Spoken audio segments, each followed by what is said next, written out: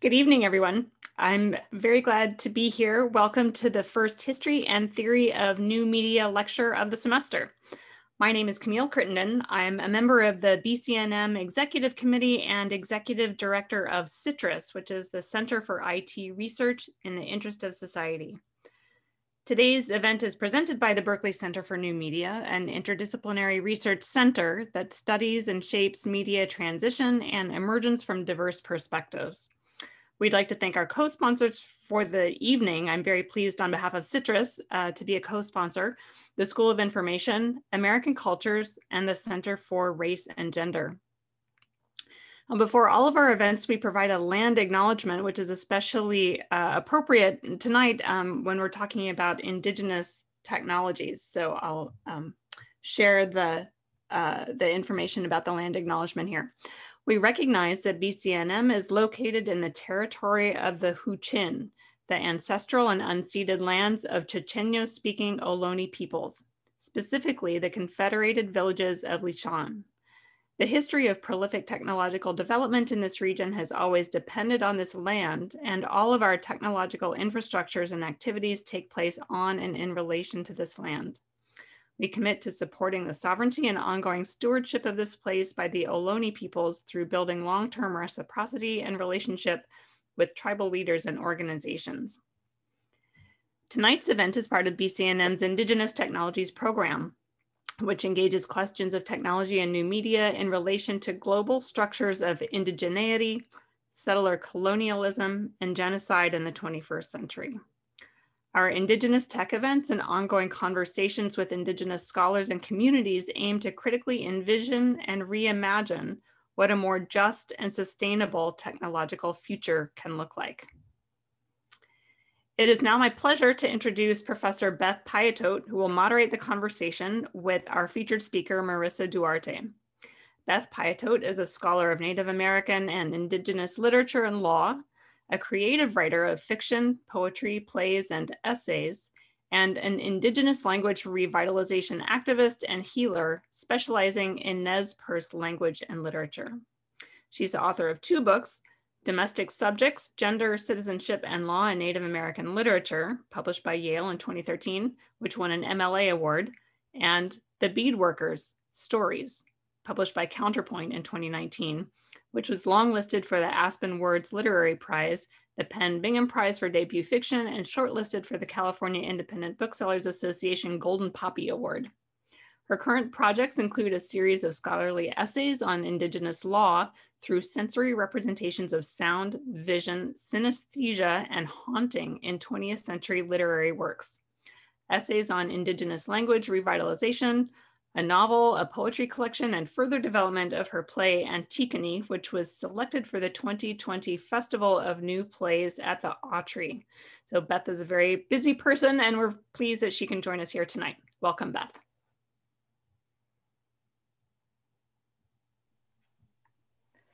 Tatskalawit Oikalo. Good evening, everyone. Katsiyayo, thank you, Berkeley Center for New Media and all the co-sponsors for this wonderful opportunity to introduce Professor Duarte and to be on this program centered on Indigenous technologies.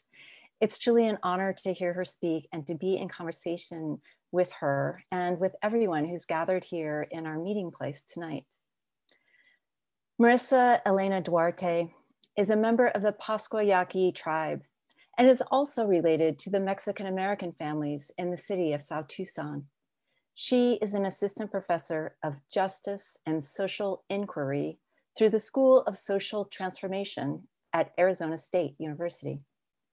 She researches information, knowledge, and technology in the context of indigeneity. Her 2017 book, Network Sovereignty, Building the Internet Across Indian Country, investigates the relationship between sovereignty and the tribal command of internet infrastructures. Her most recent work is on Indigenous feminist approaches to social media. Welcome, Professor Duarte. Thank you. We didn't get to mention, but I get to work with um, Beth at least once every couple weeks because we both um, do a lot of um, leadership level work with the Native American and um, Indigenous Studies Association. So I was super excited when I found out that, you know, we get to have a conversation today um, around some of the stuff that I, I, I work on, you know. Um, so I'm happy to share with you today my work on Indigenous cyber relationality.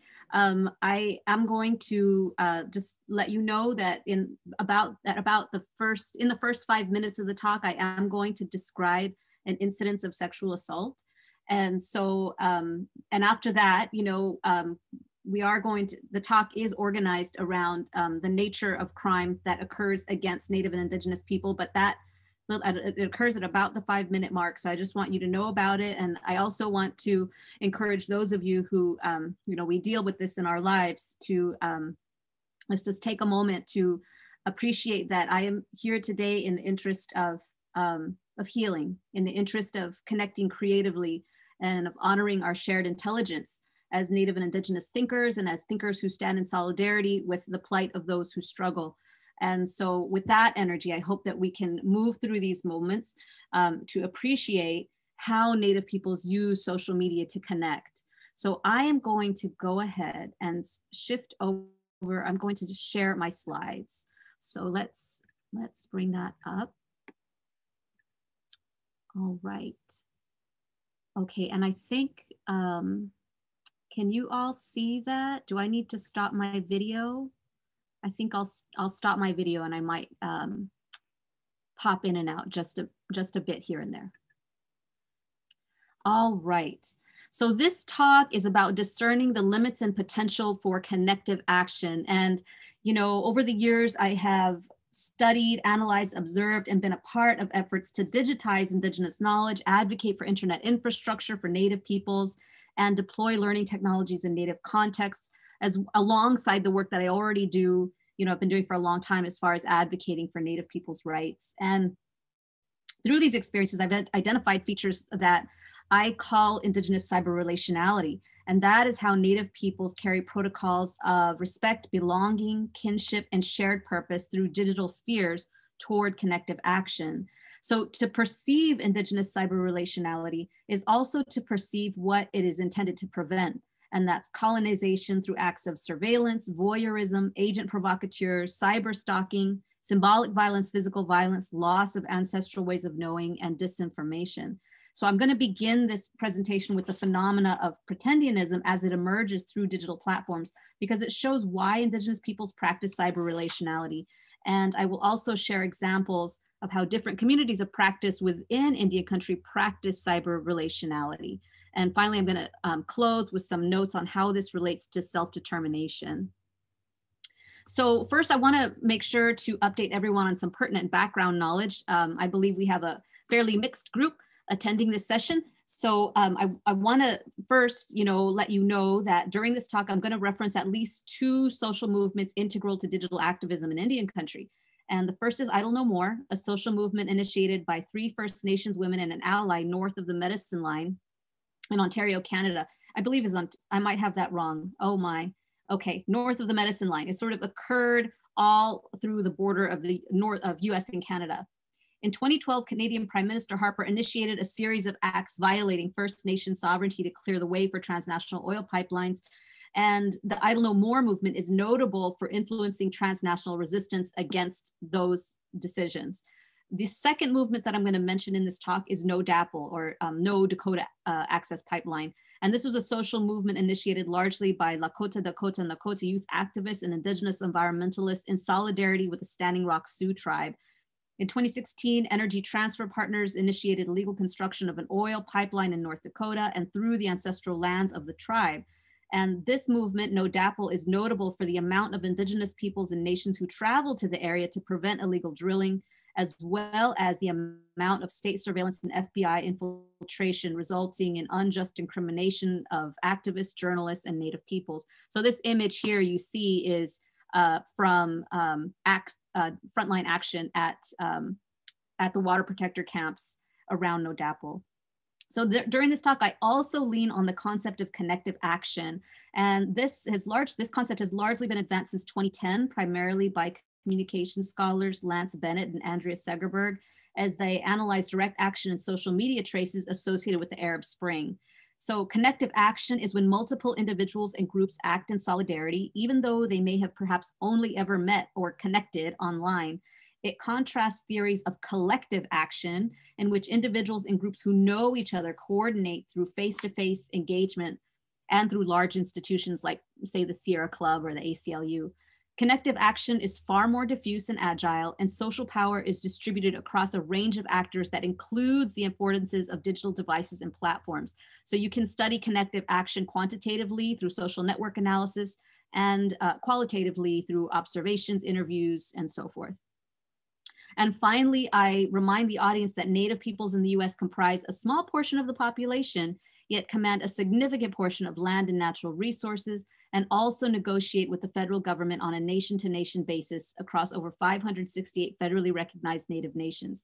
There are many indigenous peoples in the US and across North America who are not enrolled in a tribe, but who often stand in solidarity with Native peoples and nations. Each nation has its own pre-European indigenous language, philosophies, religious practices, ceremonial cycle, territory, histories, and kinship networks. And so while our tribal governments are legally sovereign, the peoples therein define their inherent sovereignty. It's sort of like pre, it prefigures or coincides with legal sovereignty. So in this talk, I characterize inherent sovereignty with regard to indigenous ways of being and knowing, as well as the political will of the people. So I'm gonna start talking about uh, digital pretendianism. Um, on Saturday, August 1st, 2020, some professors gathered through Zoom to honor the memory of Aleppo, an ASU anthropologist, Hopi tribal member, and outspoken feminist. A few awkward moments caused the attending to realize that the deceased never lived. The host of the memorial service, a former Vanderbilt University professor and leader in hashtag MeTooSTEM, had invented Aleppo through a Twitter account attributed to at sciencing_bi. So professors who had worked with this individual, here's a picture, um, Dr. Beth McLaughlin, found her behaviors controlling and toxic. And within a few days of Aleppo's imaginary death by COVID-19, journalists revealed Dr. McLaughlin to be a digital pretendian. That is a non-native person who creates a Native American social media persona for profit and psychological gain. So um, I am a professor at ASU. I'm a native professor at ASU. And so after Dr. McLaughlin tweeted about the death of Aleppo, a few students reached out asking if I knew the deceased. And even though ASU boasts over 4,800 professors, we can probably fit every native professor into a 50 person room and we all know each other. My colleague, Professor Angela Gonzales is Hopi and a sociologist, but is alive. And at the time was taking on an extraordinary um, amount of work, extra leadership roles within our school. A few reporters reached out to me as well, asking if I knew the deceased. And I let them know you know, um, this is what pretendianism does, right? It's exploitative, it's fraudulent, and psychologically exhausting for those of us who are who we say we are in Indian country and who do what we say we are going to do, and yet who, in spite of our inexhaustible integrity, face discrimination. Now, pretendianism is one aspect of contemporary colonial exploitation of Native and Indigenous peoples. It obscures what it means to be Native American. To be Native American is to belong to an inherently sovereign and self-governing people that collectively recognize and rely on their kin toward epistemic, political, social, and territorial continuity. It is not really a racial construct, though the US system of race and caste makes it seem that way. And this is why it's insufficient for people who have some genetic trace of non-European indigenous ancestry, but no tribal belonging to propel themselves as Native Americans. That is, if their tribe does not claim them. So sadly, often the worst perpetrators associated with pretendianism are also associated with fraudulent, if not criminal activities. And this is, this is the, the trigger warning that I indicated earlier. Um, in 2016, Red Wolf Pope made a name for himself as a highly visible advocate of the No DAPL movement. And he, in 2018, Santa Fe jurors found Pope guilty of rape and voyeurism. He had drugged a woman and recorded himself raping her. Pope's former housemate turned over to Seattle police devices containing recordings of Pope having intercourse with women, some allegedly consensual and some not, including non-consensual recordings of a housemate showering. A major part of Red Wolf's guile was his claim to traditional tribal belonging, specifically to Laylup and Western Shoshone, neither of which had record of his enrollment. And you can see sort of that um, topmost image. That is a picture of Red Wolf there. And I be, I'm not, I believe that photo might have been taken at, um, not too sure, but it might have been taken around an Idle No More march. Um, so, so sometimes these pretendian performances are not physically violent, but they are nevertheless fraudulent. So on December 10th, 2020, Rulan Tangen, a noted Filipino American choreographer for Dancing Earth Productions, confessed to not being a tribally enrolled Native American and to utilizing relationships with tribal families and Native artists as her rationale for claiming funds and programming opportunities designed for enrolled Native artists. Decolonial Filipino scholars have also challenged Rulan's claim to Filipino indigeneity, and this brings up discussions in the broader global indigenous community about kinship and accountability across Oceania and how it laps against the political hierarchies of US sovereignty, including US tribal sovereignty. So those are images of Rulan in the bottom, uh, the bottom corner of your screen. So all of these forms of pretendianism indicate features of anti-Indian informatic violence. And I wanna be clear, right? The things that Red Wolf did are not the same level of wrongdoing as the things that Beth Ann McLaughlin did, or even Rulan sort of, you know, use claiming appropriation of funds um, uh, intentionally designated for Native artists.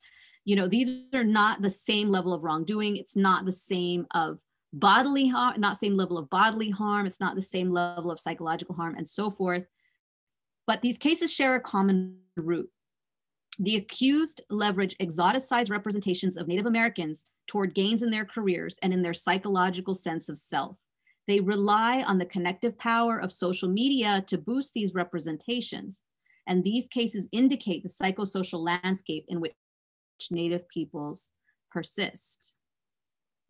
So for those affected by the wrongdoing of these individuals, there is no border wall between the flesh, the mind, settler sovereign political will, and the spirit of the machine that makes these acts possible. There is only the experience of being violated, which for Native peoples is merged with the experience of subjugation and pulls at the weft of the historical trauma into which we are born. For us, the colonial logics of white supremacy that allow rape, voyeurism, and theft of Native people's belongings and ways of knowing are endemic, felt, and apparent. However, even though we've grown up with this, it took a mob of overt white supremacists seizing the US Capitol building on January 6, 2021, for the big tech companies, Facebook, Amazon, Twitter, and others, to take a stand against radical white supremacist uses of their social media platforms. Amazon removed Parler, Twitter permanently blocked Trump's user account. I, I believe that it, they might there might be some sort of discussions now that he's a private citizen. Uh, for at least a decade, many different groups in the US and beyond have challenged Facebook's misuse of personal user data as a breach of privacy. And after Trump's unethical 2016 election to the presidency, only due to a series of congressional inquiries, lawsuits, and allegations from election meddling to surveillance to censorship, Facebook leadership has finally somewhat agreed they have a white supremacist problem built into the flesh that codes, buys the products, and generates enticing content, including content inciting violence against dark skinned people. So, has the kingdom of technocrats finally realized there is no border wall between the flesh, the mind, the sovereign political will, and the spirit of the machine? For those routinely violated by the colonial spirit of the machine, it is the era of dark matter, and Black and Indigenous intellectuals know that by dark, we're not referring to immeasurable quanta shaping the fabric of space time, but rather the realization of capital B, Blackness, and capital I, indigeneity, those who are hyper surveilled yet voiceless, those who are criminalized for the color of their skin yet subjugated for the beauty of their minds, those who are desired yet hated, those who are expected to shoulder the violent tensions within a caste system that insists on border walls, prisons, hoods, ghettos, barrios, reservations, and other infrastructures of spatial, social, and epistemic segregation. So Nevertheless, despite the colonial entanglements of the social media giants, Native peoples connect with each other, mobilize, and indigenize social networking sites by practicing cyber relationality. So, taking a closer look at how this occurs reveals aspects related to quality of life amid platform capitalism in particular around privacy, self-determination, and political will. And I'd like to give some clear examples across the informatic agendas of five communities of practice, if I may, in Indian country. So these are grassroots activists, tribal elders, cultural knowledge keepers, policy advocates, and IT professionals, information technology professionals. So what do grassroots activists say about this?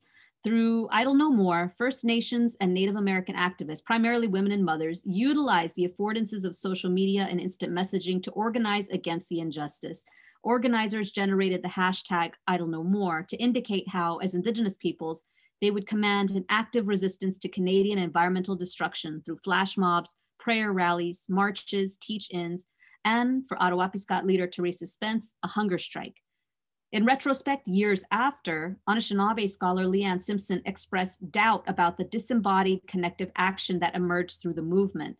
She questioned how a movement grounded in an indigenous matrilineal care for environment and in turn care for a people's future well-being could be sustained through a loose agglomeration of network actors who never met each other and who perhaps had no apparent responsibilities to care for First Nations, waterways, lands, animals, or families. Did social media make Idle No More no more than a slogan, instantly gratifying for leftists addicted to the colonial technicization of platform capitalism?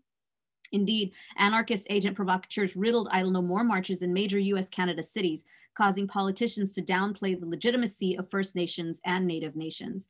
Red Wolf Pope, who I described earlier, gained some notoriety as an activist and tribal traditionalist amid the energy of Idle No More. Simpson asserts that in the US and Canada, Indigenous social movements are firstly built on the trust cultivated among matriarchs over generations expressed through families whose kinship and reciprocity yield a constellated intelligence imbued with the vigor of interpersonal care. So while social media affords activist matriarchs the means for transnational solidarity, the flesh, the spirit, and the political will of Indigenous movements are tempered by activists who ask newcomers in online spaces, how do we know each other? How are we related? How are our families related? How do you show care? the moderators of online groups play a key role in deciding who to allow in, how to address comments on posts, and how to enforce group norms. This work requires interpersonal triangulation in which moderators check on the kinship and accountability of newcomers by reaching out to their relatives. This is one way that Indigenous social movements deter pretendians, agent provocateurs, and the rudeness of leftist settlers who sometimes lack respect for the praxis of Indigenous constellated intelligence. So what do tribal elders say about you know these uses of social media um, and social um, networking to sort of organize? You know, tribal elders also insist on kinship and interpersonal and environmental reciprocity. So in 2010, when I was living in Tucson, I was uh, working with different you know elders and people in my family, and I was preparing to write the theory sections on my book on internet infrastructure in Indian country. And at the time, I was having many conversations with my friend and colleague Miranda Belarde-Lewis, who is Zuni and Tlingit, about how we noticed our own tribal communities' uses of social media and smartphones. So for Miranda and I, in our communities, it is simultaneously a cultural behavior, customary law, and a policy of the tribes to prevent the use of mobile phones or any recording devices, including sketch pads and photography, at meaningful places during our annual ceremonial seasons. So having grown up in these traditions, we know the reasons why. It's to prevent infiltration by anthropologists and amateur ethnographers motivated by personal profit. The impacts of settler ethnography are long-term. I recently re reread a 1933 study by a Texas Tech anthropologist who used photographs and measurements of body shapes, skeletal structure, skin and hair color and facial features to racially categorize my ancestors and Miranda's ancestors as, as respectively Negroid, Mongoloid, or Indian. To this day, amateur researchers wonder at my tribe's ceremonies, which they perceive as an exotic, syncretic composite of Christianity and some pre-colonial mystery that is haunting and evocative. For many, it is a ceremony of epistemic othering against which to ground their whiteness. So in 2010, I asked a few of my aunts for their opinions on the increasing prevalence of social media and smartphones among young people in the community. And my, uh, my aunt Amalia Reyes spoke about how during ceremonial occasions, the devices are distracting causing young people's minds to wander and attuning them to artificial time rather than natural cycles. So certain prayers are meant to begin when the sun is at a certain point at the horizon, not necessarily at like, you know, 6 a.m. per se. And all prayers require commitment and attention to the communal self, being a part of the chorus of voices, sensing the coolness of the evening breeze, calling to the coyotes or the owls or the rain clouds as they are evoked in songs and marches. So one cannot be Yaqui, a being calibrated to our desert home, while plugged into the showy demands of Facebook or Snapchat. So the elders ask of us as we slip into our ways of knowing, how are you contributing? How are you present? They draw our attention to the sensations and experiences of physical territorial belonging through which the spirit of our indigeneity emerges. They ground our sense of humanity in our biome, in our bodies, with our relatives, our communal purpose, and our songs. It prevents us from confusing identity, our identity, with that of our social media personas. Now, what do cultural knowledge keepers have to say about this? So, this is not to say that elders are against the uses of digital technologies. My tribe, along with many, share language, history, and news through platforms like YouTube and Facebook. And this is done with regard for the social and economic forces that disperse Native peoples from each other and their territories. Cultural knowledge keepers, including librarians, archivists, language educators, and museum professionals, ask how can we use digital technologies to restore belonging through communal ways of knowing? How can digital archives, memes, micro language lessons, images, songs, and poetry restore our people's sensibility of their indigeneity? And how, through the uses of digital collections, can Native and non Native peoples learn reciprocity? So in 2016, I had the honor of working alongside 25 Native librarians, filmmakers, professors, and archivists who asked these questions as they developed the values to infuse the digitization of over 2,000 volumes within the Kim Wait Eisenberg Native American Literature Collection at Amherst College. Their solution? Build a program of events through which tribal elders and culture keepers can relate the meaning of the digitized documents, sharing that meaning within the long histories of the peoples of the Northeastern Valleys, the Common Pot. And the commitment essentially of all the people who were there was that it wasn't just sort of the responsibility of Amherst College to do this for everyone. It's essentially the responsibility of every Native librarian, filmmaker, professor, archivist who works with digitizing knowledge to incorporate that into their practice because we ourselves represent this um, loose network of individuals spread across the United States. So we see this occurring through the work of Abenaki historian Margaret Bruchac and her research team, who fused together historical research, repatriation work, story work, and the affordances of Facebook and their blog on the Wampum Trail to teach Native and non-Native people about wampum belts as living documents. Mar- Marge Bruchac was actually at that um, that event that we had in 2016, and I also just want to um, give a shout out to her book Savage Kin, which is just a really illuminating um, uh, research work on on sort of going back into the archives and realizing some of the gender dynamics embedded in those that those colonial projects. So what do policy advocates say about these technical, techni technicized uses of information and knowledge about Indian country? So definitely, technically savvy indigenous peoples combat, combine the media-rich databases of institutional platforms like digital library collections, MOOCs, and personal websites with the interoperability of corporate platforms like YouTube, Facebook, Twitter, Instagram, Spotify, TikTok, and Zoom to co-generate asynchronous learning environments. And through these platforms, they raise awareness of global indigenous struggles and participate in connective action toward the real-time shaping of political will.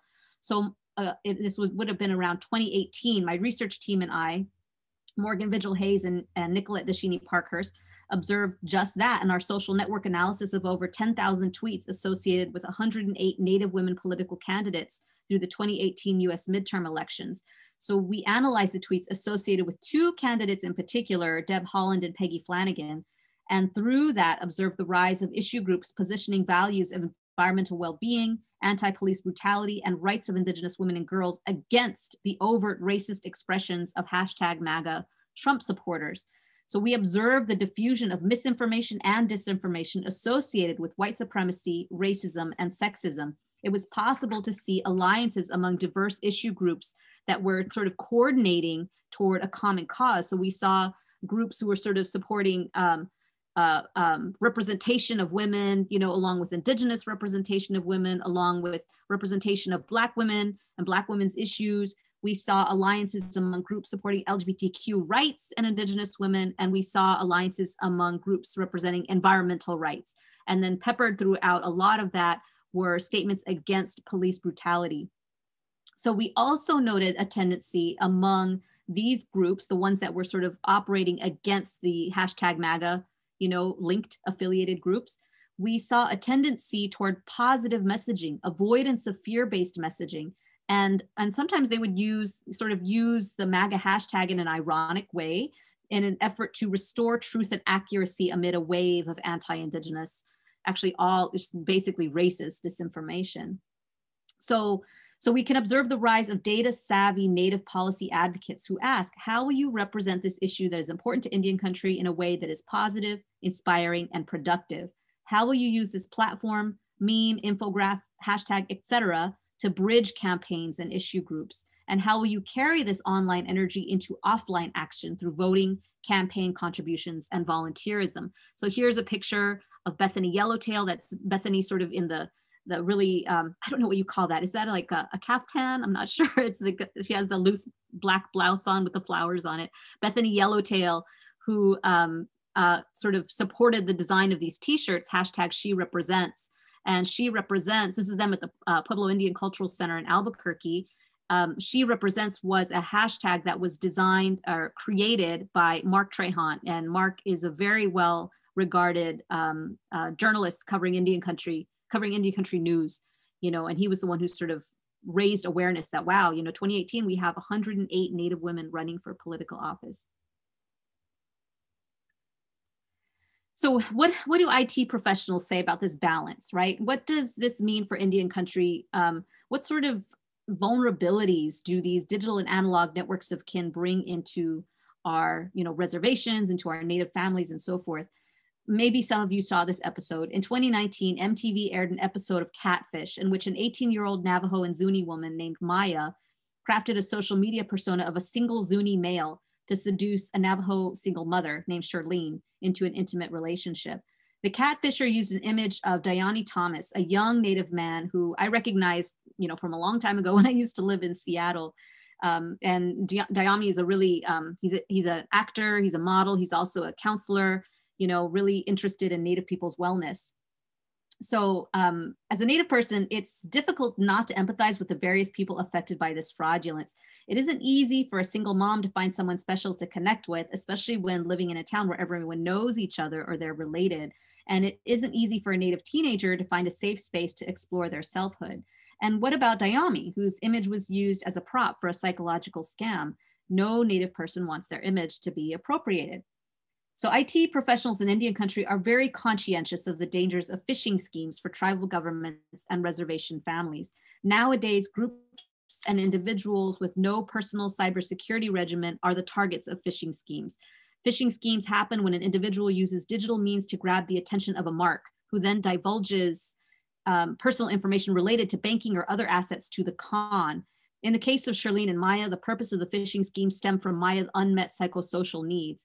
Yet any IT professional in Indian country will tell you that phishing schemes are something they need to educate tribal employees about as scammers seek profitable tribal government information. At a more sophisticated level of technique, tribal internet networks are also vulnerable to the usual thievery in the informatic underworld malware, denial of service attacks, viruses, ransomware, spyware, trolling, and other mechanisms that contribute to identity theft, larceny, illicit data brokering, and in extreme situations, breaches of infrastructure by what the US national secure, security community calls foreign adversaries or bad actors.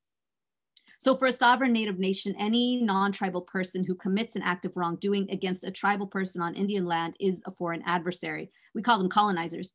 Yet the shadowy individuals behind phishing schemes and ransomware atta attacks need never set foot on Indian land to commit acts of fraudulence and larceny. In 2016, legal scholars Bailey and Shayan analyzed scenarios leading to systemic interpersonal violence against First Nations women and girls and found that social media played a part in the bullying, stalking, and grooming behaviors that predicate kidnapping, assault, and suicide. So when it comes to prevention of cybercrime, law enforcement, IT professionals, and social workers alike assert the need for families to monitor their children's and elders' uses of social media and smartphones. IT professionals assert the need for sovereign control of a secure cyber environment through widespread cybersecurity education and network upgrades. So there's a technical aspect to Indigenous cyber relationality that relates to allowing someone into a social network, but insisting on firewalls and refusing to disclose personal private information, including home addresses, banking information, social security numbers, and so forth. Um, so this refusal demands technical intervention. So this is activists who are conscientious of using virtual private networks for their web browsing, uh, those who use encrypted messaging, strong passwords, and those who limit access to devices in the home and the workplace other than for monitored accepted uses. So the guiding questions are, you know, how do you protect your loved ones through your online behaviors? And how do you protect the privacy of your coworkers through your online behaviors? How easy is it for someone to break into your smartphone or your social media account? How easy is it for someone to break into your bank account? So for these reasons, I assert that those information technology professionals who are able to strengthen the information integrity of their tribal nations through persistent cybersecurity and network upgrades, they also contribute to the network sovereignty of their peoples. They keep out the foreign adversaries, those who prey on Indian peoples and lands through digital means. But it is the activist elders, and culture keepers whose messages of change, ancestral knowing, belonging, and reciprocity create the means for self determination and self-determination predicates sovereignty. So through their conscientious curation of messaging and images, formal and informal digital archival work, repatriation of knowledge, and insistence on healthy boundaries between the simulacra of platform capitalism and our responsibilities to each other within our biomes, they co-create a political will that believes in the historical truth value of capital I, indigeneity, Native rights advocates who work through various institutions pick up on these messages and values and embolden them through political action, from grassroots organizing and direct action to state and federal campaigns designed to shape the structural means through which Native peoples receive services and tribes negotiate with the federal government. As a social scientist, and more specifically as an information scientist, I'll be the first to admit that it is methodologically challenging to identify causation and to measure real world impact across these loose networks of humans, devices, and posts or tweets. Perhaps this is because to do so means taking a longitudinal approach or creating narrow proxy definitions of action and impact. It also has, it also requires macro historical sociology, you know, applied to a deep understanding of intertwined indigenous histories. So if you speak to any native person who volunteered for an extended period of time at the water protector camps you know, through 2016 or who has been distributing supplies through mutual aid. Um, the effectiveness of social media toward indigenous goals is apparent. You know, they're not sort of waiting for studies to prove this or that. But what is challenging about social networking sites is how they also make Native communities very accessible for colonial acts and behaviors. For the digital activist, there is always the threat of the pretendian, the need to protect oneself against agent provocateurs, corporate blocking, and state surveillance. For the tribal elders, there's a threat of loss of lifeways as 4G and 5G media ecologies enchant young people away from a deep belonging to their physical terrain. For the cultural knowledge keepers, there's a threat of colonial theft, which is what happens when opportunists exploit meaningful indigenous ways of knowing toward personal profit. For the attorneys, there's a flood of misinformation and disinformation that makes it difficult for judges untrained in federal Indian law or tribal law to hear cases fairly. For the IT experts, each new device in a tribal government introduces a new security risk, and each new device in a native home requires education about privacy and information assurance. For law enforcement, for each new data point that helps locate a missing person, there's a threat of ongoing criminal behaviors, cyber stalking, grooming, phishing schemes. Now, what does Indigenous cyber relationality teach us about values of privacy in a United States that is recently realizing its vulnerability to homegrown authoritarianism? That white supremacy is alive and vital to national party politics is nothing new to Black folks, Native peoples, and many people of color whose ancestral teachings include strategies for survival against this persistent threat. We encode these strategies in our stories. The economic caste system of this country has dispersed most of us, the laboring class or the class meant for extermination, far from our families and homelands. So to share these stories, we use distributed intelligence platforms through which to speak, share, co-create, validate, and learn. Before there was social media, there were phone calls. Before phone calls, there were letters. There are still analog means of sharing, powwow circuits, holiday gatherings, seasonal reunions, and ceremonial obligations. So through these networks designed for intergenerational belonging, longitudinal learning, we built networks of trustworthy kin to cultivate deep listening, the kind that incorporates the entire body and being with a dignified purpose and design. For Indigenous peoples in North America, our dignified purpose is not to conquer the natural world through superhuman technocratic advance.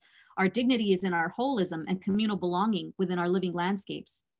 So my mother's father was very close to the religious you know practices of our tribe and as a child he survived the 1910 genocide um, in mexico against yaqui indians as a child, I used to sit near him to hear him speak with my uncles and my aunts and other relatives. And my aunts and mother would tell me where to stand and how to help during those practices.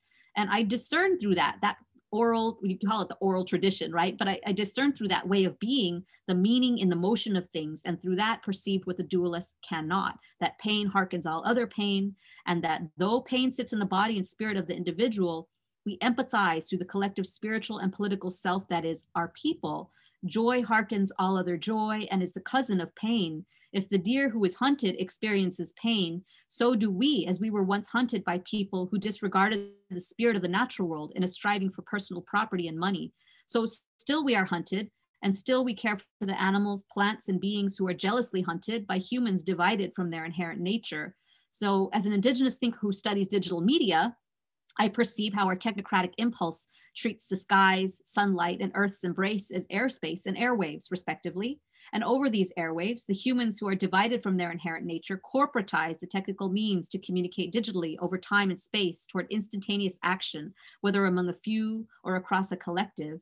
Yet, unlike in our ceremonies, where through years of practice we have learned communally as a people when to shift from dispositions of mourning and loss to those of rejuvenation, forgiveness, and joy, this instantaneous mediatized digital action doesn't really have a quality of spiritual release of welcoming a new cycle in the biome we are sworn to care for. Instead, it has a quality of self gratification with very little regard for the care of the earth. So when we study the digital traces of a social movement, we have to ask are we studying the selfie of a movement, how it wants to be seen, how it wants to see itself? And what about the deep roots of a movement, the genealogy of the flesh, the interdependence of mentalities, the infrastructures of a political will, and the earth, the territory, the terrain, upon which the socio-technical manifestation makes itself heard. Now, these are just notes on aspects of digitally mediated social movements from an Indigenous and borderland mentality. For me, indigeneity is not an abstract lens. It is a lived, felt experience bearing an ethical responsiveness. It is the energy of thousands of Indigenous peoples of technical means in different places around the world who advocate for the well being and joyful liberation of their people amid the spiritual restoration of the ecologies they are sworn to care for. When I examine the social media traces of Indigenous social movements, I perceive how social media platforms generate techniques through which Indigenous peoples and individuals carry protocols of respect, belonging, kinship, and shared purpose into digital spheres. This occurs at the level of the infrastructure through tactical repertoires, in decisions about system design values, and through command of data flows toward political agenda setting.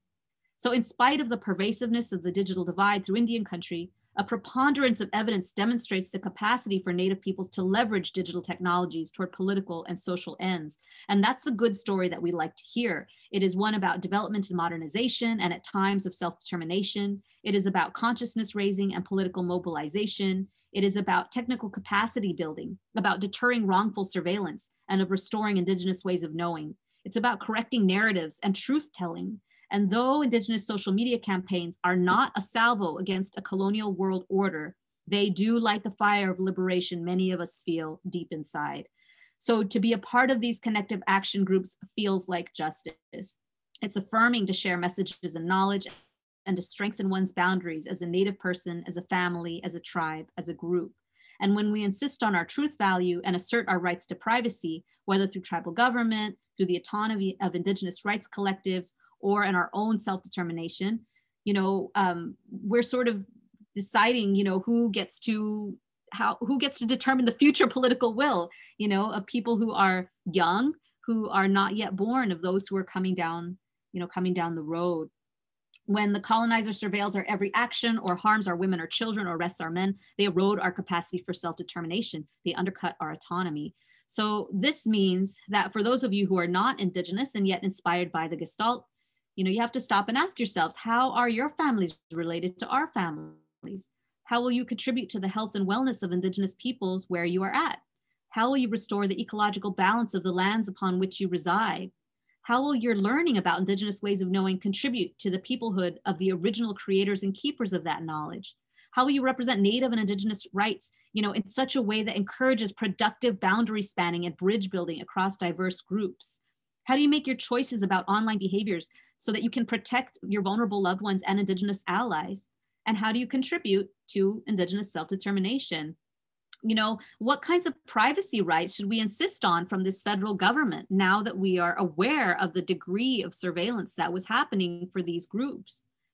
So, because you know as indigenous peoples we experience you know this you know particular forms of injustice it doesn't mean that that's an anomaly. It means that in fact that injustice is occurring across many social groups in the united states. It's just that we can see it you know rather immediately and for us you know because of our histories of tribal sovereignty we have a particularly clear view of it so i hope that through this talk you know through sharing we can create space in our hearts and minds to learn from these lessons and we can start thinking about how we can set healthy boundaries as we righteously direct the energy of our digital repertoire. So I'm going to stop sharing and go ahead and turn on my video. And hopefully we can have um, a nice discussion. Thanks. Oh, Katsia, yeah, thank you so much, Marisa, uh, for that amazing talk. Um, it was beautiful, complex, illuminating. Um, I just want to encourage everyone. We have this amazing, beautiful audience here. Please express your uh, appreciation for this talk in the chat. And then if you have questions or comments, please put them in the Q&A box and I will uh, read your questions um, as we have now um, about 40 minutes 40 minutes to continue our conversation. Um, so I just wanted to pick up on a couple things. Uh, one is just a little fun fact, that slide that you showed at the end with the 1491. I forgot to mention that. Should I put it back up really quick? well, the reason I want to bring it up is because it was filmed here in Berkeley, uh, Berkeley, Albany at uh, the Gathering Tribes uh, store. They were great. Michael Horse and um, Penny were great uh, sports about uh, putting that skit together. Um, And so, uh, yeah, comedy has been a great, a great. Um, comedy's traveled a lot on the internet and in mm-hmm. native circles. So let's start with that. What is the political force of circulating comedic riffs and other kinds of memes and jokes. Um, I guess I'll, I, I had actually imagined I'd have a separate question just for the baby Yoda meme. yeah. But maybe you, we could talk first about the way humor circulates. Yeah. Its function in relationality and in political mobilization.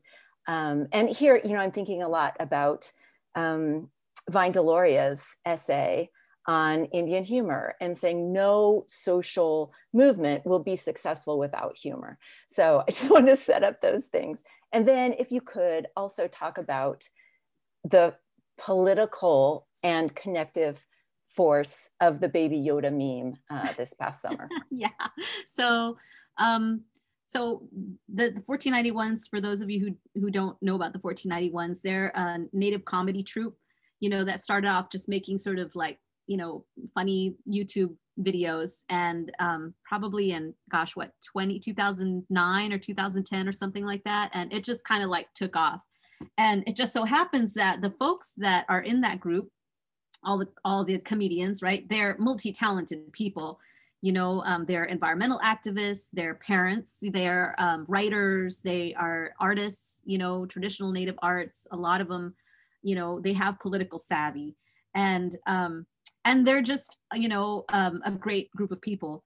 And so um, when i was one of the first talks that i gave after i finished writing my book was for the tucson festival of books in um, outside of the university of arizona. And um, bobby wilson was there um, he's a good friend of my partners and Bobby Wilson is the guy that in that image he's he's shirtless and his long hair is flowing and he's like looking to the future.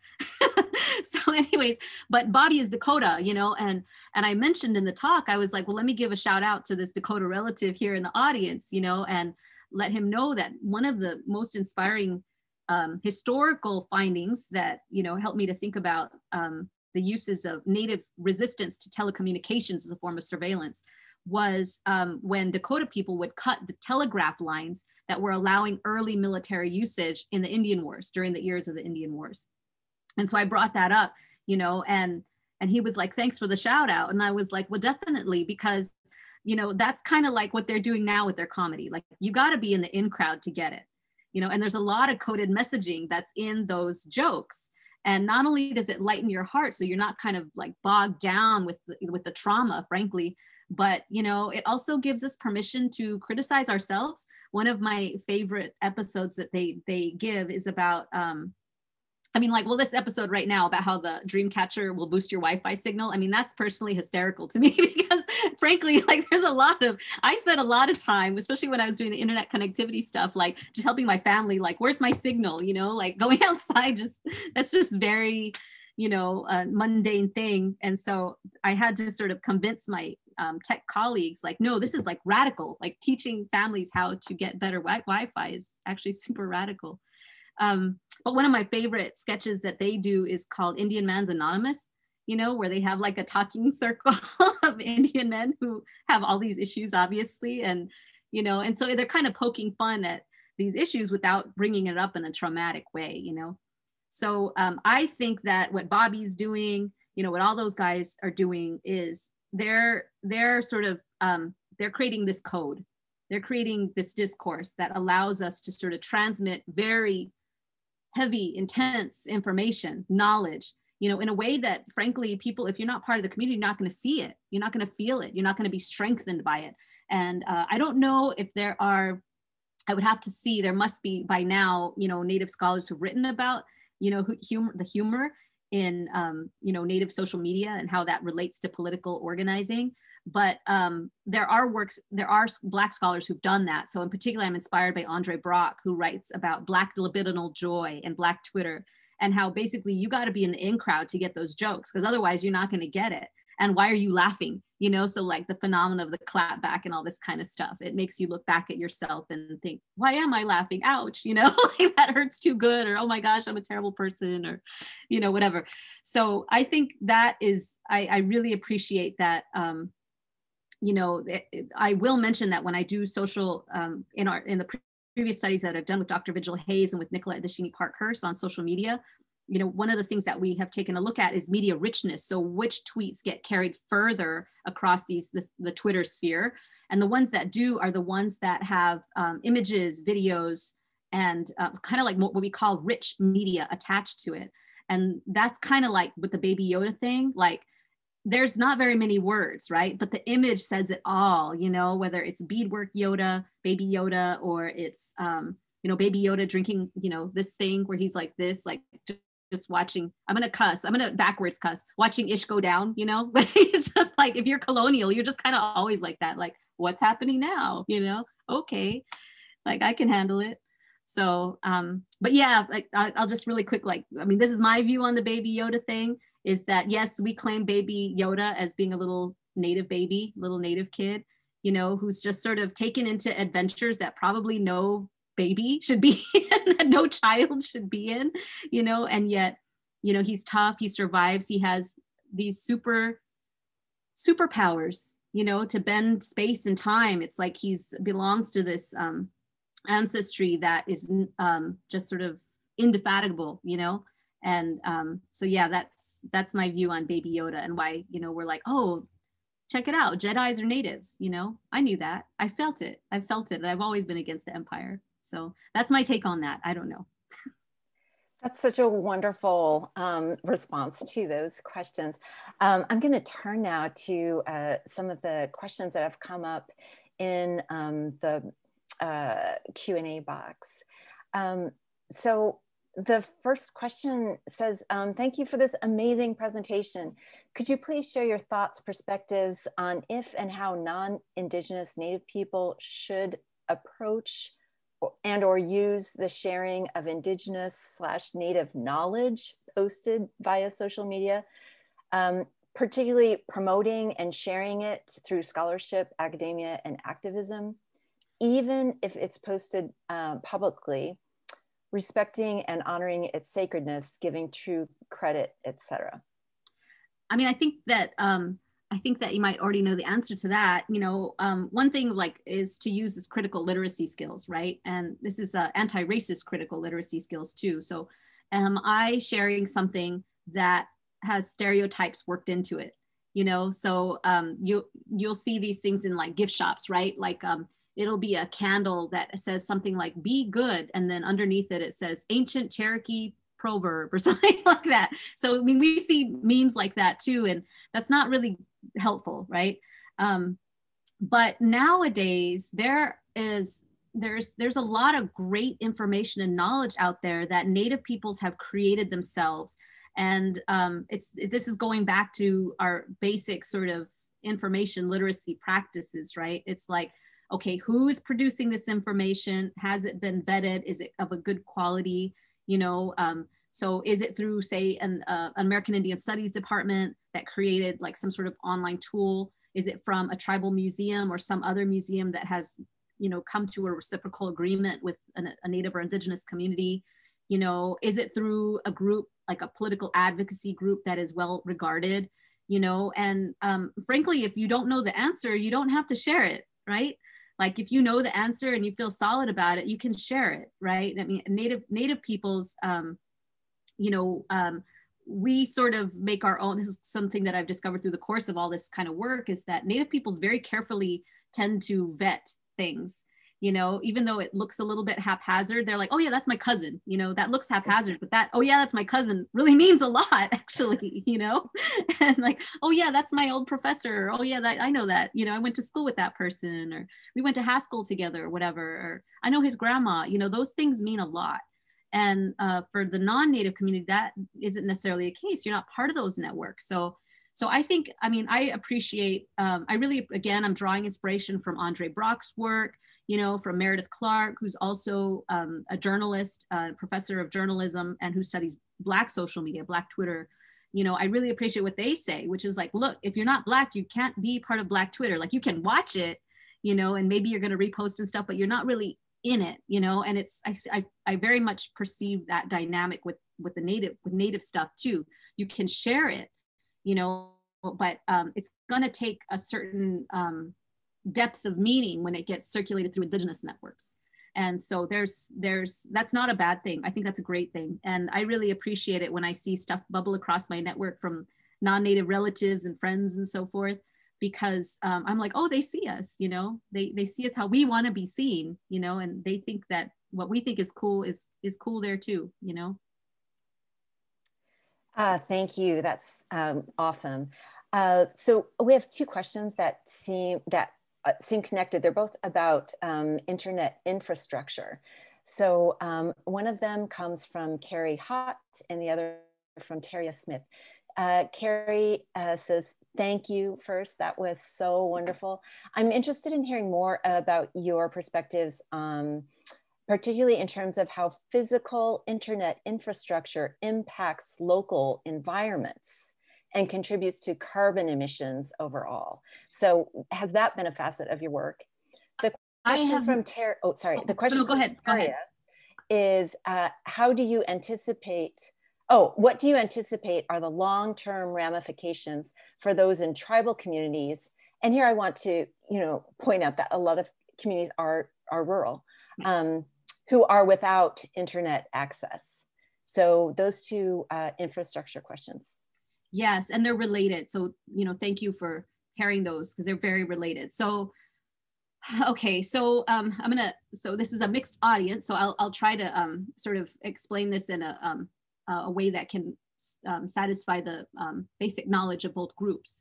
So internet infrastructure, right? Um, first of all, it's not just sort of out there. It's very much, um, it's a construction project, it's an installation project, and it's multi-millions of dollars.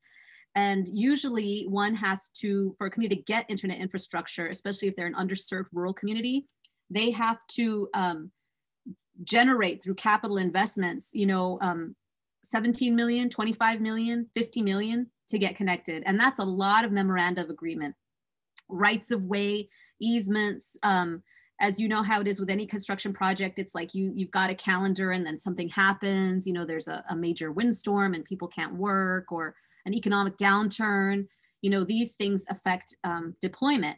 And when it comes to environmental concerns as far as an indian country it really varies. So for those tribes that have command over let's call it their uh, territory and attention to their biome you know maybe they usually have if it's if it's sovereign Indian land, they usually have their own environmental impact assessment that satisfies the federal impact um, assessment requirements, but that might go a step further, you know, either because they have their own protocol of respect for environmental stewardship or because they have their own particularities of that terrain to work with, or because it's folded into the requirements of the traditional historic preservation officer, who's also on the lookout for things like sacred sites, you know, um, um, and things like that.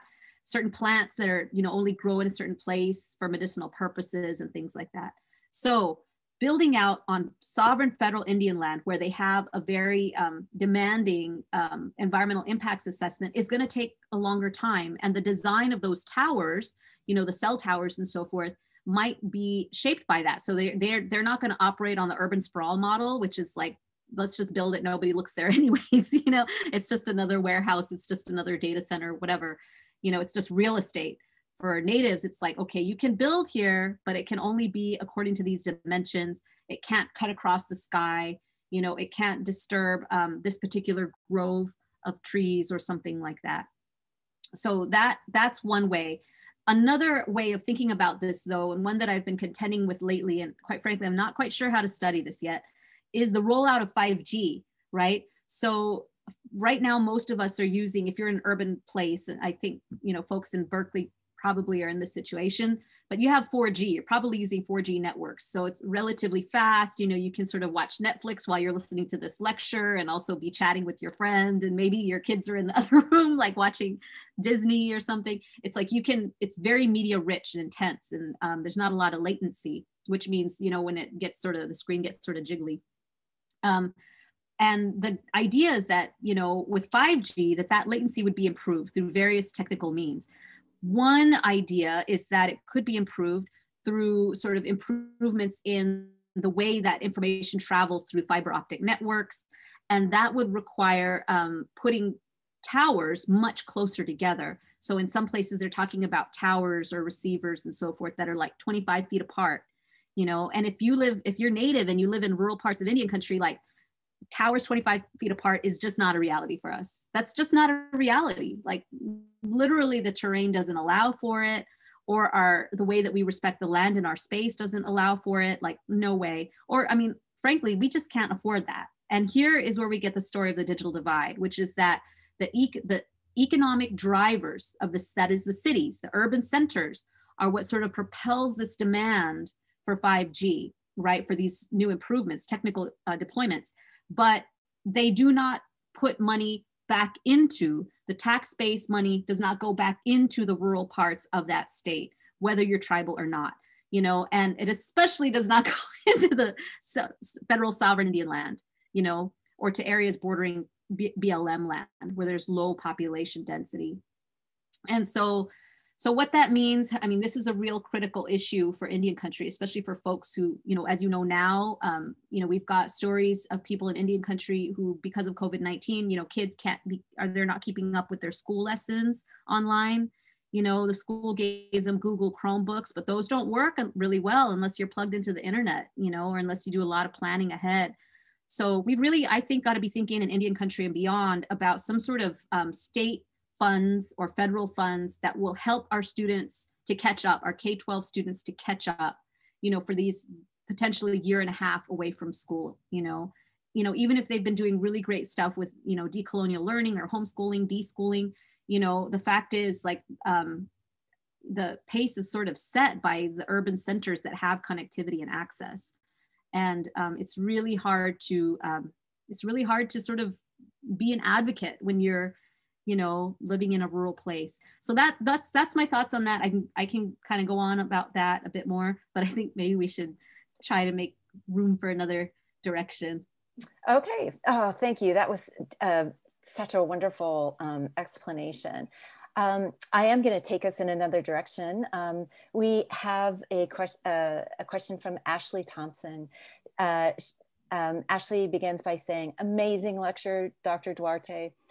I am grateful social media has allowed me to connect with other natives as well as my people now that I live far from my homelands. It's also an essential aspect of organizing movements and drawing attention to our issues. Yet, I've also seen and fell prey to the destructive side of social media, such as online harassment, stalking, and bullying. Um, and th these are elements um, from your talk too. And what are your thoughts on how we can protect ourselves from its more harmful effects? How do we cultivate respect in cyber communities? Megwitch. So this is a challenging question because, um, so I also teach justice theory, right? And, um, you know, in theory, when somebody engages in an act of wrongdoing or somebody makes a claim of that harm has been done to them, you know, um, there needs to be sort of an evaluation of all the facts, you know, in, in the sense of like, what is the nature of the wrongdoing and what is the nature of the harm? And I bring this up because of the situation with um, Red Wolf Pope, right? Um, for some people, you know, um, cyber stalking or, or, or cyber harassment can be like, I, I saw something uh, probably, oh gosh, this was maybe like four years ago. Um, um, my friend Nana Babek, she's a, a, very talented silversmith and artist.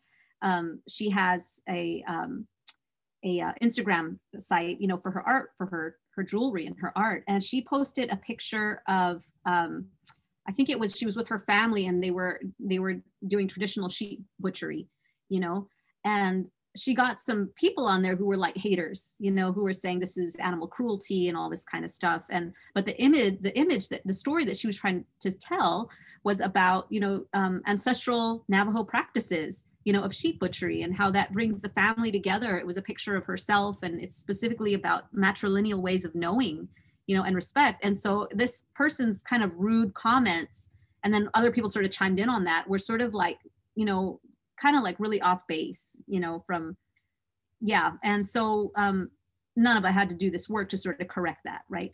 And, and to, to some extent, yes, it's it it feels like harassment, right? Because it's like you're getting trolled, and then all of a sudden, boom, boom, boom, like three more people come on, and then you know you're worried like, are people going to take this the wrong way? Do I need to take the post down? And you go through this like thinking, and then it triggers all this trauma about being rendered voiceless as a Native woman, and how we are depicted as savages right and that you know we're dehumanized for that right and so you have to deal with that as well so when you're uh, laying out what is the nature of the harm it's like well what is the nature of the harm? Is it psychological? Is it emotional? Is it uh, physical? Is it what is the nature of the harm right? And then out of that it's deciding what is the nature of the justice that will correct that harm. You know so you know in some cases it's like okay we can i can handle this. I can take it on. You know i can address this. And so i can direct um, attention to the comments i can use this as a learning moment you know i can make a decision to practice boundaries for myself you know um, but in a case like red wolf pope you know where he had recordings of himself you know engaging in um, these you know criminal and wrongful acts with women you know that required this another level of intervention you know, it needed to be leveled up. So when it comes to these kind of situations, I think that it's very, very important for Native peoples when they practice sort of um, protecting themselves and their boundaries is to be conscientious of the law, you know, and not to self-isolate when these things occur. You know, um, there is such a thing as a Native Women's Whisper Network, you know, in which we sort of, we kind of look out for each other, you know, and um, you know you can call a friend from that you maybe haven't spoken to in 10 years and say hey this happened what do you think and they're like oh i knew it you know it's just they validate and confirm and you can sort of collectively work toward dealing with that wrongdoing whether it's through like um you know an interpersonal process of healing someone's heart or if it's something that does require some sort of criminal you know uh, intervention through law enforcement or something like that right?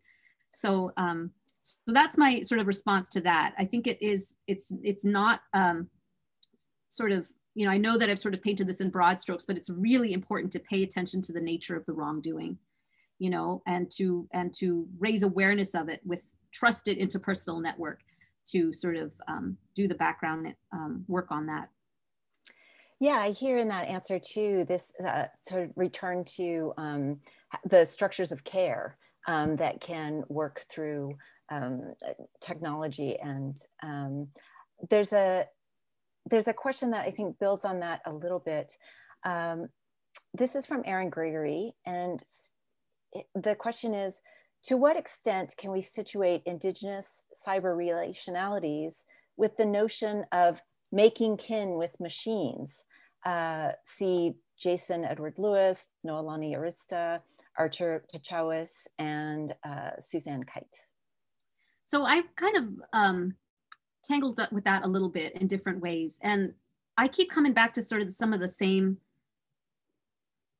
some of the same epistemic problems, um, which is that, um, you know, you know, for Native peoples, what is the machine made out of?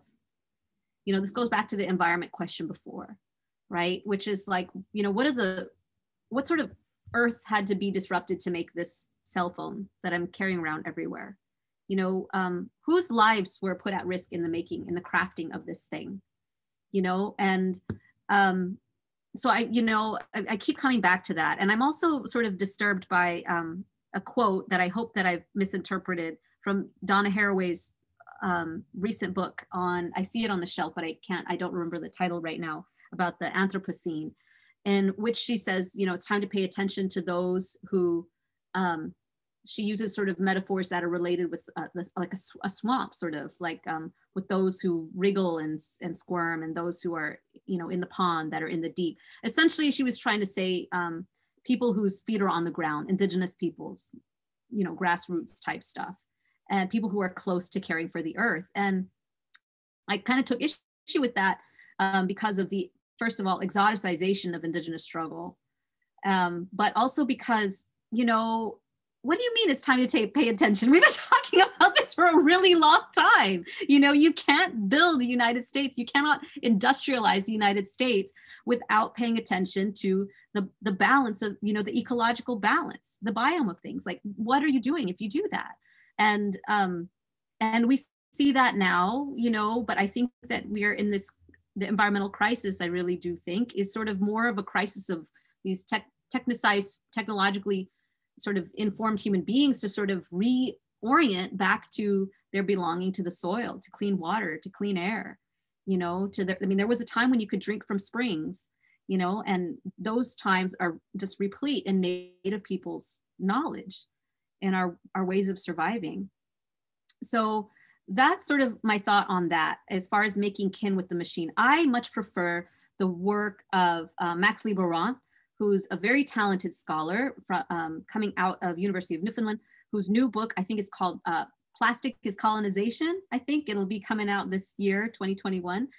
And she writes about how it is when you are, um, she studies plastics in the oceans and distribution of, you know, they, they, they become these tiny particles that then sea animals ingest and then they get, go up the food chain and, and it just affects everything, right? In a negative way and she writes about how when you're you know in through her study she's looking at things and realizing like this plastic these bits of plastic that are i i i don't think of as alive but i've made them i'm a human being and we have made them and so we're responsible for taking care of them just like we would care for maybe a relative who's not like the greatest human being who's not such a good person right you, you it's your responsibility to educate, to care, to provide compassionate, you know, adjustment, right, correction when necessary, um, uh, to this thing, this bit of plastic. You know, it's time to take responsibility for that. So that's my thought on that. I think that if we want to sort of think about environmental responsibility and sort of you know 5G and the, our our cell phones and our desires for like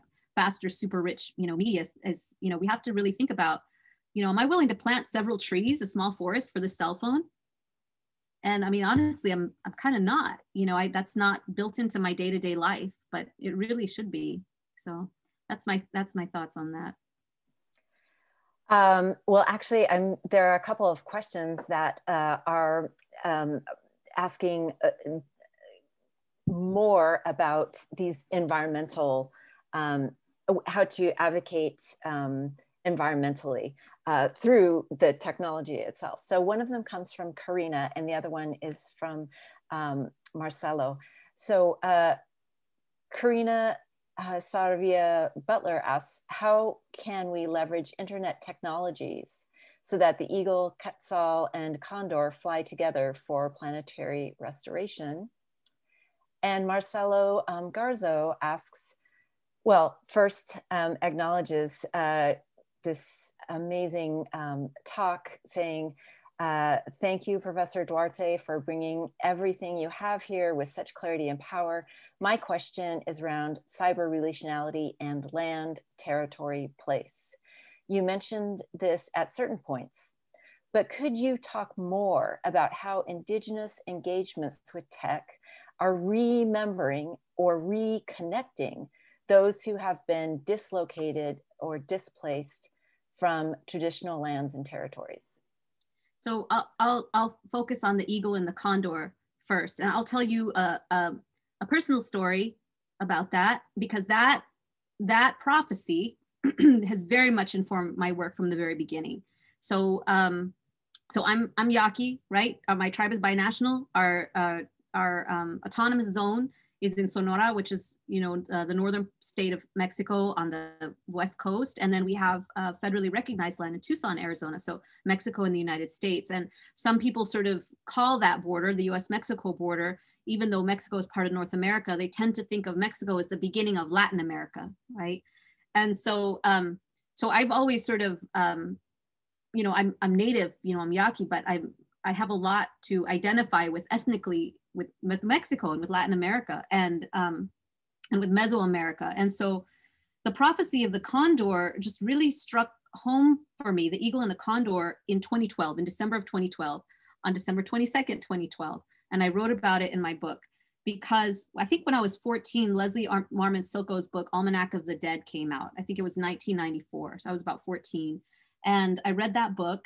Um, and it's about, there's a central figures in it who are Yaqui. I'd never seen Yaqui uh, women writ- written about by you know authors before in a way that felt realistic you know that felt real to me so leslie marmon silko writes about this almanac of the dead that these yaqui children are sort of escaped north and they're responsible for carrying this almanac and through the book the mystery is well what is the almanac right and for me it was plainly clear you know for yaqui people we have uh, a book of the dead every family has one it's literally a book that we is wrapped in black cloth and it has the names of all those who have passed. And we remember them every year. You know, it's, it's part of our, because, you know, it's death is a transition for us. Um, but in that remembering, we're also remembering our history, where we've been and where we're going. And there's a prophetic quality to it, you know. Um, so in December 22nd, 2012, I was super aware that this is a key date on, on the for the Mayan day keepers on the calendar. It's a shift on that date, I happened to be, I happened to open my um, laptop and I was kind of scanning Facebook for native news because it's not like you can turn on CNN and get native news. and at least not at that time. It's still not really today. But I saw, um, Idle No More marches just going in full blast on that day. And that same day, there were marches in um, the Zapatistas were engaging in major marches against um, neoliberal President Peña Nieto. And I just felt like I was holding two worlds at that point you know, one in each hand, but they were not speaking to each other because one is largely Spanish speaking and one is English speaking. And so I personally felt at that moment like these networks, you know, are extraordinarily important for allowing for this translative moment to occur, you know, so that we can have transnational solidarity. Maybe these moment, movements do not speak to each other because of linguistic difference, because of different cultural references, but there are key people in the world who can speak these two languages and bring them together. And they do all the time.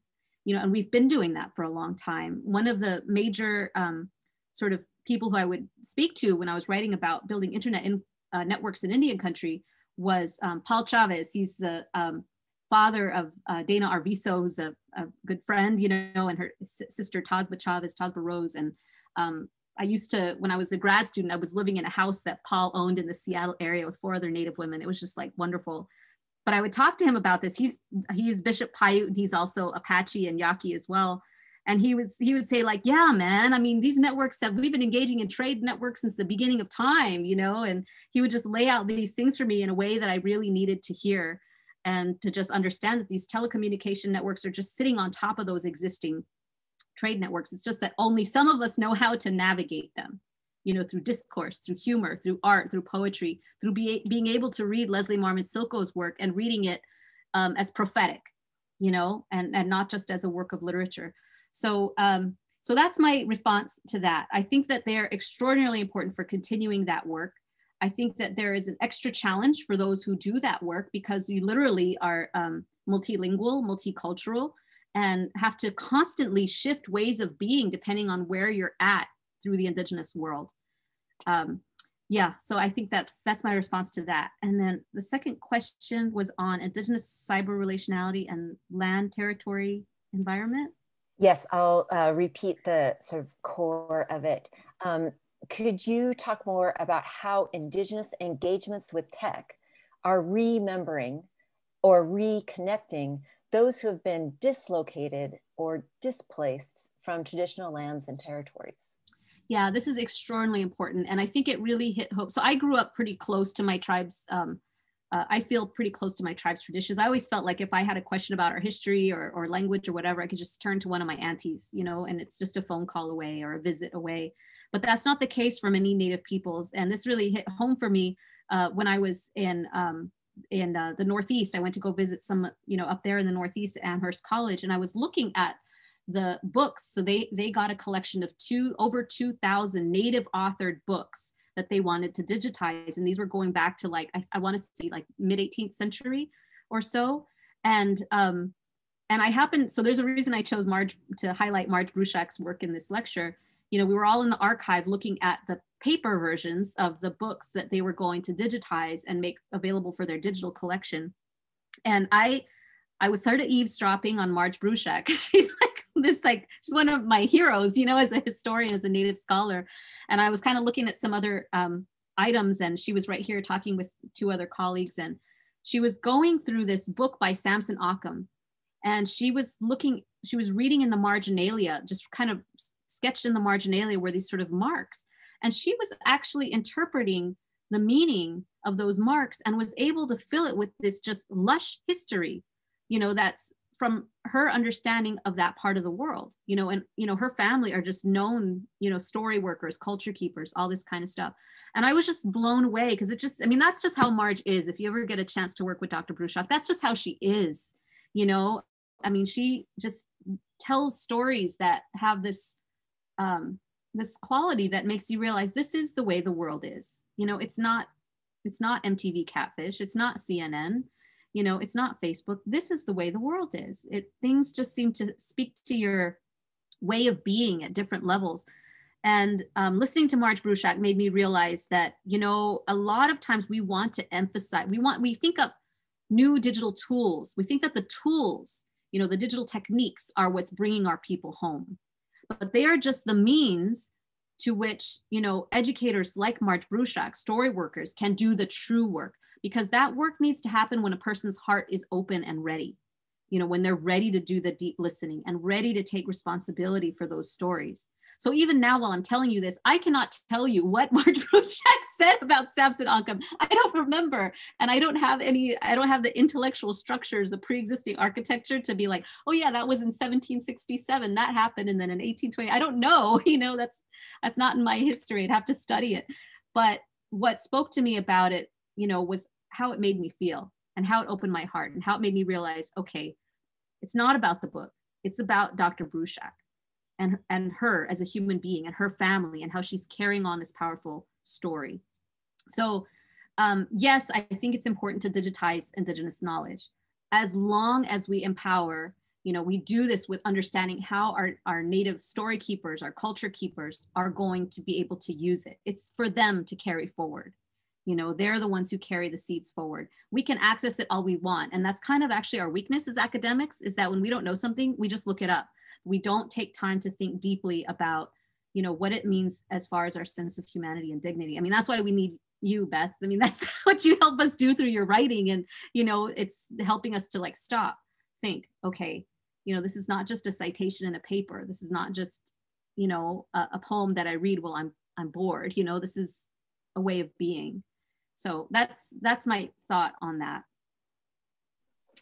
That's really beautiful. And uh, you know thinking about reconnecting to lands and territories it's been really um, inspiring to me also as a language worker to see how technology has been so important in um, uh, supporting language revitalization. And, and actually this this idea of the remix where um, you know pulling pulling ancestral voices out of archives and then singing with ancestors again. Um, that's been a really, and, and speaking with them, storytelling with them.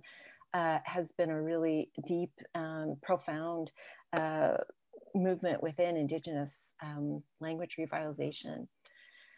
Um, so I want to give uh, someone from our audience the last question here, um, because it this question is also about, um, we've been talking so much about building communities and working across uh, spaces. And this question is um, from Virginia McLaurin, um, who asks, in terms of public education and Indigenous, non-Indigenous relations, with apps like TikTok and Twitter that allow non-Indigenous people to interact with Indigenous people and in somewhat direct ways like response posts and messaging, do you believe that this will result in meaningful reduction in stereotypes and colonialist attitudes from non-Indigenous young people who are growing up now in this digital environment?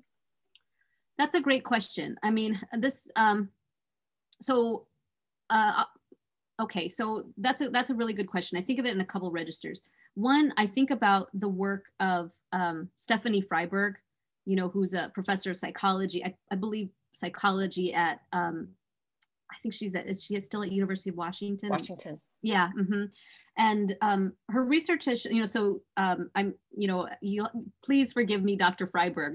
I'll just tell everybody go read her work for yourself, but I'm going to sort of just like super sort of describe it. But you know, in her work, she was showing images of college students, you know, who come from a, a number of backgrounds, you know, um, sort of stereotype images of Indians, right? So, so like Indians as they were depicted in like the 1960s and 70s cowboy and western shows, things like that, right? and what she found was that, um, you know, um, white students would feel there was a portion of white students who would feel sort of a um, a sense of empowerment when they saw those images, you know, whereas natives when they saw them, sort of always it was traumatizing. It was a sense of negative self identity and, and things like that, right? Um, and and even when the you know you there was an intervention so somebody giving a lesson or somebody saying look these images are racist and they're not right you know they and the, and you have students who'd say yes yes we we can see that. Yeah it's wrong totally wrong you know. They would still register a feeling of empowerment looking at it. And this study is really important because it points at um, a psychology that in this country we call whiteness but again this is the eagle and the condor. In other countries in latin america you know whiteness is about elitism right? So it's not necessarily they're not white you know? Um, mexico's elite are not white per se but they exert a sense can exert a sense of um, superiority over indigenous peoples of mexico or indigenous peoples any part of latin america. And so it raises questions that are um, tied to caste you know and if one is, and I'll, I'll, reference here if you haven't read it yet, Isabel Wilkerson's um, important book on caste. But, um, you know, if a person is born into believing that they are um, superior, it's really hard to undo that thinking, even when one tries. And one can pay it lip, lip service, one can intellectualize how to undo it. But if it's so psychologically ingrained, ingrained, it's it's just it's a it's a it takes a great deal of effort. So yes, it's important for Native peoples to um, circulate their own stories and images through TikTok, and especially if they're like positive and um, you know, um, you know, productive and helpful and in the right spirit. I'll, I'll put this with you know, in the right spirit of things, um, according to these concepts of indigenous cyber relationality. Is it going to affect the inner colonial mentalities of people, of Native people? I hope so.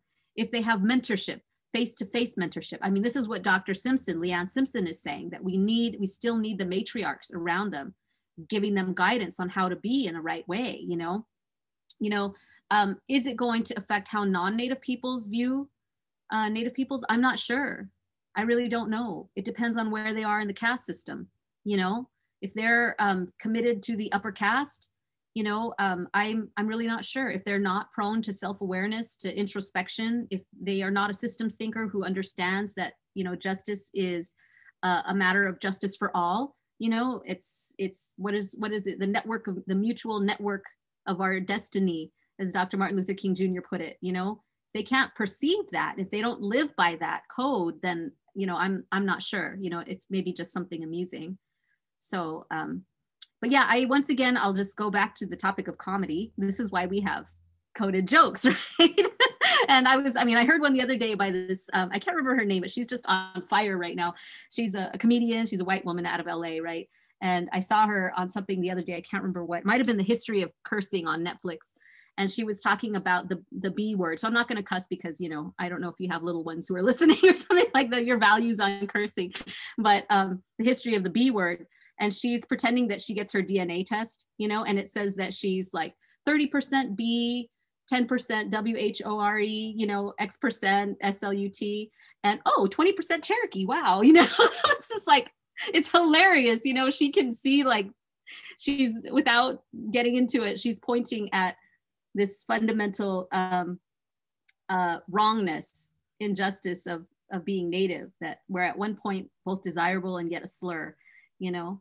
So, anyways, I'll I guess I'll answer. No, laughing on a good uh, ending on a good laugh is the right way to end our time together. Um, thank you so much for such a wonderful talk, and I just want to thank the audience for being here. And again, please uh, send your love notes to um, our professor uh, tonight in the chat. Uh, gratitude and praise and honor for such a rich um, evening together. Thank you so much. Katsuya, yeah.